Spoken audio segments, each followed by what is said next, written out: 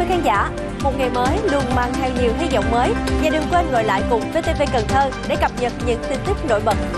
Và cá rô phi, loại cá có rất nhiều ở sông nước miền Tây, giờ đây được nâng tầm giá trị với mô hình nuôi gắn với tiêu thụ sản phẩm để xuất khẩu. Câu chuyện sẽ có trong phần sau của chương trình. Và trước hết, chúng ta cùng điểm nhanh những nội dung đáng chú ý. Công cụ nhận diện web giả đã có hơn 80.000 lượt tra cứu, giúp nhiều người thoát bẫy lừa đảo. Thông tin không nên bỏ qua. Những điều cần lưu ý về tư vấn bảo hiểm đó là trách nhiệm của cả hai bên. Không khí chuẩn bị đón Tết trong xe năm thơ mây của đồng bào dân tộc Khmer.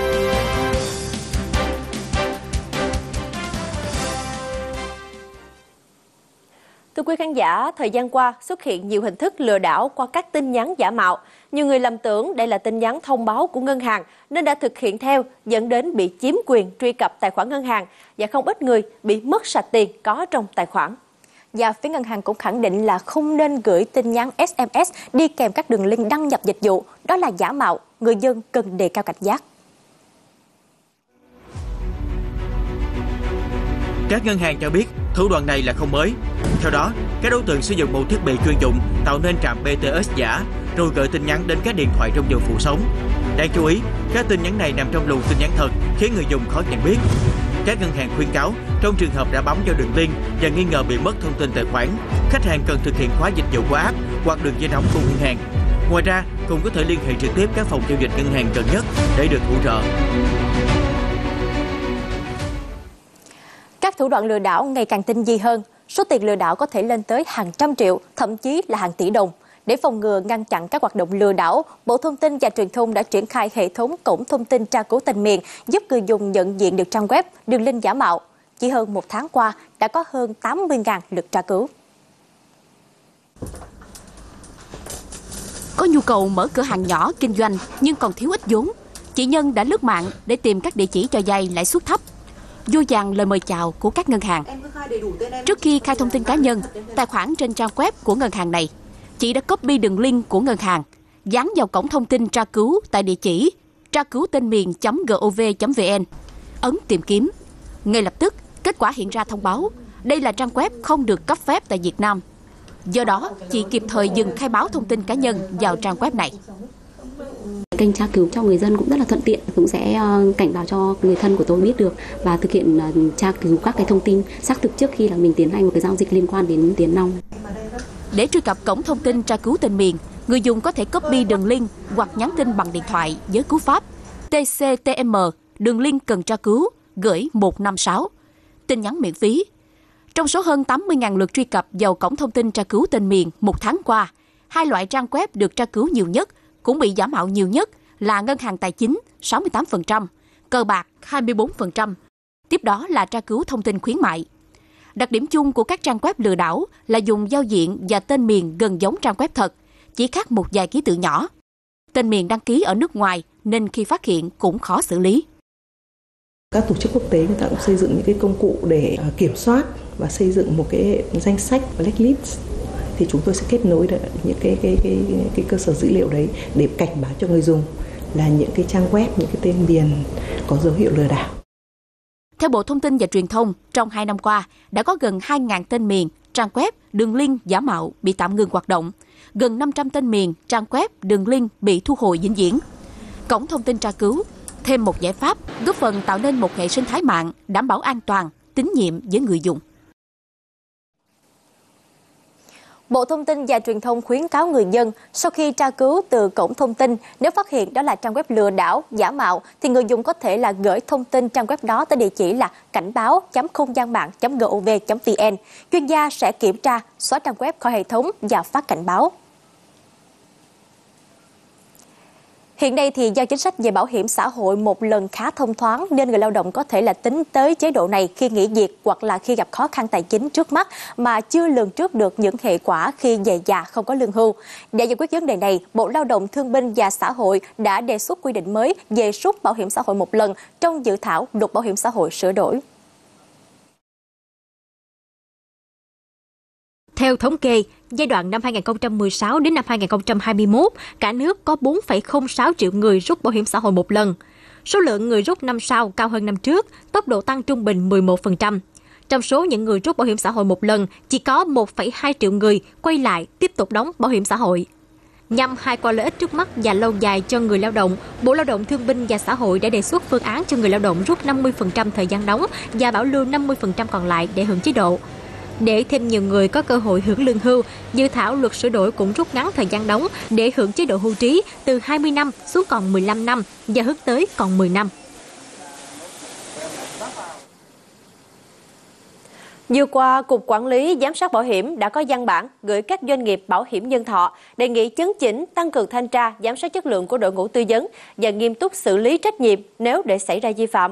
Đồng thời, khi phát sinh khiếu nại, cần chủ động làm việc giải quyết và có trách nhiệm phản hồi thông tin khách quan, minh bạch tới các cơ quan thông tấn báo chí. Và liên quan tới ba ừ, tới các đội ngũ tư vấn bảo hiểm thì à, thông thường thì sẽ có ba hình thức. Các đại lý tức là cá nhân độc lập được công ty đào tạo để mà đi bán bảo hiểm và hưởng hoa hồng từ hoạt động bán bảo hiểm. Các ngân hàng phân phối bảo hiểm hoặc thứ ba là tư vấn tài chính các văn phòng của công ty bảo hiểm. Vấn đề thường thấy nhất là khi mà người tư vấn đã làm cho khách hàng kỳ vọng quá mức vào những gì bảo hiểm có thể thực tế mang lại. Hiện đang là lãnh đạo của một chi nhánh bảo hiểm, anh Tùng chia sẻ, có một thực tế là sự thiếu tìm hiểu kỹ lưỡng của khách hàng cũng như chính không ít nhân viên tư vấn trong ngành đang khiến thị trường có cái nhìn thiếu đúng đắn về sản phẩm này. Nếu mà trong trường hợp không có một cái rủi ro thì mình sẽ nhận lại một cái khoản tiền uh, trong giá trị tài khoản nhưng nó sẽ không thể nhiều bằng các cái kênh đầu tư như kiểu gửi tiết kiệm ngân hàng hay là đầu tư khác được. Nhưng những người tư vấn không có tâm thì họ lại đưa ra cái phần lợi nhuận rất hấp dẫn là bạn vẫn được bảo vệ và bạn lại có cái lãi suất cao hơn cả những cái kênh đầu tư khác thì nó đã bị sai cái mục đích khi khách hàng đến với cái kênh bảo hiểm nhân thọ rồi nếu bạn tư vấn không đúng mà cùng với khách hàng mà mình không liệt kê những cái bệnh tật mà uh, tiềm ẩn uh, khách hàng đang có thì đến khi câu chuyện xảy ra liên quan khách hàng gặp những cái rủi ro liên quan đến cái bệnh tật đó họ không được uh, trả cái chi phí liên quan đến bảo hiểm thì dẫn đến là cái câu chuyện là khách hàng họ sẽ rất là mất niềm tin trên hợp đồng bảo hiểm thường có bản minh họa dòng tiền với các mức lãi suất tương ứng được Bộ Tài chính quy định là 5% và 7%. Tuy nhiên, thực tế hiện nay tại đa phần công ty chỉ ghi nhận mức lãi 4%, có thể gây thất vọng với không ít khách hàng. Tuy nhiên, về phía tư vấn viên, cũng có những trường hợp chủ động sử dụng thủ thuật để làm đẹp dòng tiền. Ví dụ như là một hợp đồng 300 triệu và thì đáng nhiên năm thứ hai chỉ đóng là 300 thôi nhưng người ta có thể hoàn toàn có thể chạy là đóng 400 hoặc 500 ừ, để cái dòng tiền nó cũng sẽ đẹp hơn nhưng mà thực tế thì nếu mà khách hàng không đóng đúng 500 mà khách hàng chỉ đóng 300 thôi thì sẽ không bao giờ nhận được cái khoản tiền như trong bảo minh họa Hiện có 4 sản phẩm bảo hiểm chính, nhân thọ, bệnh hiểm nghèo, tai nạn và sức khỏe.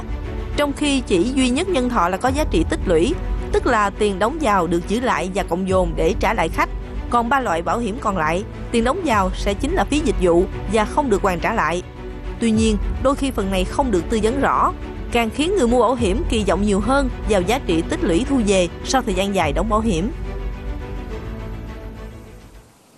Chuyển sang những thông tin đáng chú ý khác.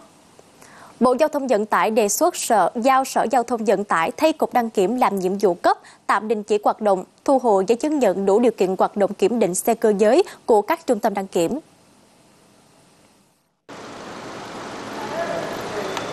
Theo đó, Cục Đăng kiểm không còn nhiệm vụ cấp, tạm đình chỉ hoạt động, thu hồi giấy chứng nhận đủ điều kiện hoạt động kiểm định xe cơ giới. Thay vào đó, Sở Giao thông Vận tải các địa phương được đảm nhận toàn bộ việc này. Hồ sơ xin thành lập trung tâm đăng kiểm và các thủ tục có liên quan đến hoạt động đăng kiểm đều chuyển về Sở Giao thông Vận tải giải quyết thay vì Cục đăng kiểm.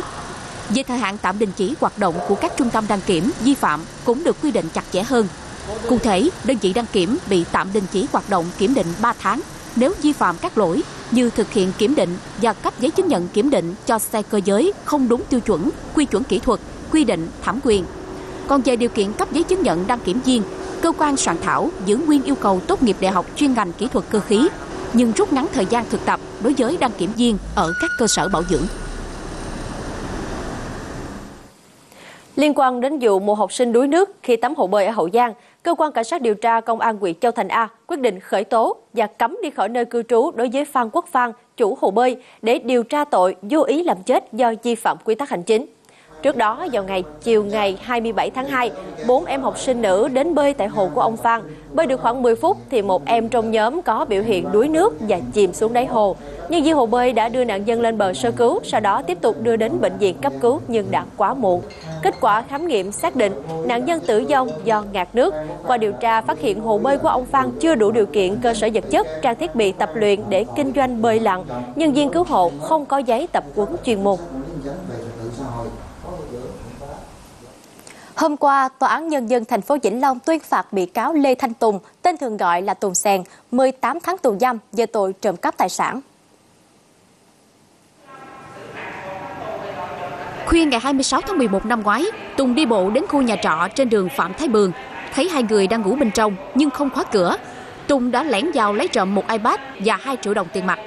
iPad Tùng đem bán được 5 triệu để mua ma túy.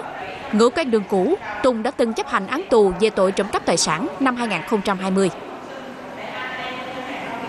Còn tại An Giang, Tòa án Nhân dân huyện chợ mới tuyên phạt Đỗ Duy Khánh 8 năm tù giam và Nguyễn Thị Kim Thoa 7 năm tù giam.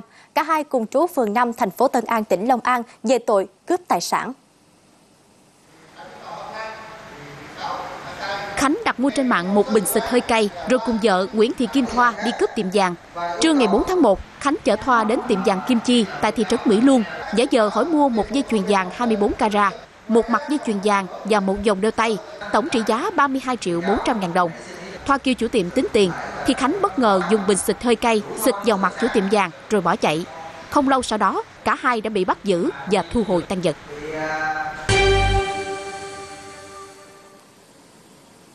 Thưa quý khán giả, Tết cổ truyền Trôn Nam Thơ Mây của đồng bào dân tộc Khmer năm 2023 diễn ra từ ngày 14 tháng 4 đến ngày 16 tháng 4 tới. Đây là lễ hội mừng năm mới theo lịch cổ truyền của bà con.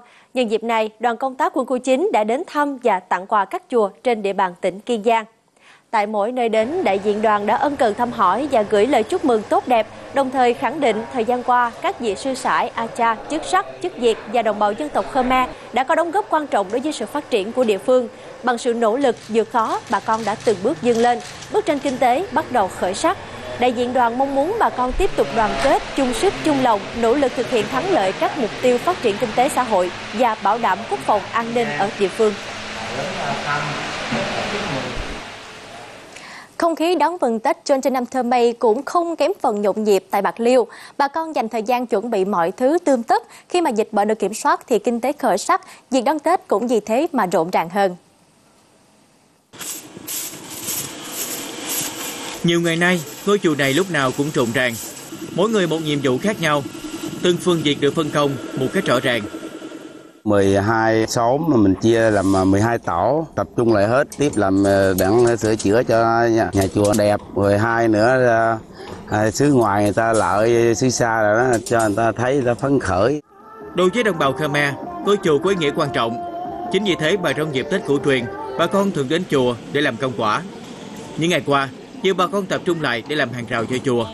Mặc dù mất nhiều thời gian và công sức nhưng ai cũng phấn khởi mình sửa làm lợi cho mới, cho đẹp. Rồi rủ anh em rồi lại tiếp làm xuống chùa. Bệnh hoạn thì mình tới chùa thì thấy vui thì như nó như nó khỏe cho mình. Mỗi người một tay, không khí đón tết cổ truyền, vì thế cũng đầy sôi nổi. Bà con tranh thủ đến chùa, lễ phật và gửi gắm bao ước vọng cho một năm mới. Sung túc và đủ đầy. Thưa quý khán giả, với nhiều bà con ở đồng bằng sông Cửu Long, khi mà nghe nói tới cá rô phi xuất khẩu thì à, cũng khá là ngạc nhiên bởi vì loại cá này có rất nhiều trong tự nhiên, giá thành thì lại rẻ. Chúng ta sẽ cùng tìm hiểu là tại sao lại có mô hình nuôi gắn với tiêu thụ sản phẩm để xuất khẩu ở Sóc Trăng. Và con cá rô phi này có điều gì đặc biệt à, và hấp dẫn để mà khiến người chủ đã quyết định chuyển từ con tôm, loài thu tiền tỷ để mà chuyển sang nó? Câu trả lời sẽ có trong phóng sự ngay sau đây. Ví dụ như một cái ao 4 ngàn mà nuôi được 4 à, tấn tôm thì bây giờ là khoảng à, trên dưới trăm triệu đi. Còn nếu mà cái ao 4 ngàn mà tôi nuôi được 25, 26 tấn cá như hiện nay á thì tôi sẽ lời trên 200 triệu. Thế nên ông dân chuyển sang nuôi cá rô phi từ 2 năm nay. Sản lượng mỗi năm ước đạt khoảng 400 tấn nhưng vẫn chưa đủ so với nhu cầu của khách hàng. Loại cá này có nhu cầu khá lớn ở châu Âu và Mỹ. Và số cá hôm nay chúng tôi sẽ xuất sang Hà Lan. Một tháng chúng tôi bán 2 đến 3 container, mỗi container khoảng 45 tấn, mỗi năm tương đương 500 tấn. Như vậy là chưa nhiều lắm, nhưng chúng tôi đang mở rộng. Từ khi thấy tiềm năng của con cá rô phi, ông Bạch cũng bắt đầu tận dụng ao lắng lấy nước vào dung tôm để thả nuôi. Hồi trước là không có quan tâm đâu, mình còn ghét nó muốn chết. Trời ơi, thấy nó là sợ rồi. Ký có 3 4 ngàn mà người ta còn không có mua nữa. Mình làm được cái ao ao lắng, là lắng nước để mình cấp cho tôm. Rồi à, thứ hai nữa là mình cũng có cái à, à, là con cá để mình làm thức ăn, mình ăn hàng ngày. Rồi dư ra nữa thì mình bán